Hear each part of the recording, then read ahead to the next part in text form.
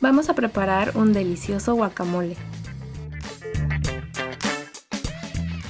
Lo que vamos a utilizar para hacer este guacamole son tres aguacates grandes o unos cuatro medianos, media taza de jitomate picado, un cuarto de taza de cilantro picado, un cuarto de taza de cebolla morada picada, puedes utilizar cebolla blanca, también un chile serrano o jalapeño o habanero picadito, el jugo de un limón, una cucharadita de comino en polvo y sal para sazonar. Te recuerdo que la lista completa de ingredientes con la receta paso a paso está aquí abajito en la cajita de información.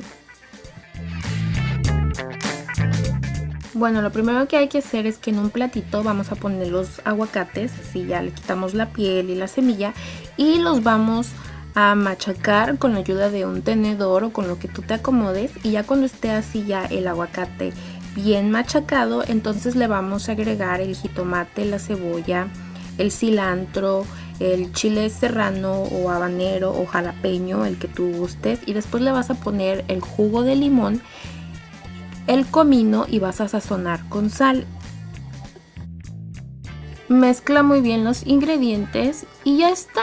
Te tomas menos de 10 minutos y ya tienes un delicioso guacamole para acompañar tu comida. Si gustas le puedes poner la semillita que dicen que esto ayuda para que no se haga negro el guacamole, pero si lo vas a servir de inmediato pues no tiene necesidad.